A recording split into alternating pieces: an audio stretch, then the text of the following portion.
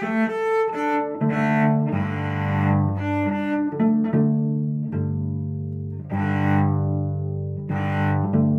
feels like it's got a bit of an afterburner effect to the sound. It's got some power behind it. I, I don't know. It's, it's hard to tell. It, it all sounds great under the ear, but I'd love to be out there listening. I, that was not an insult. This is a great, great cello.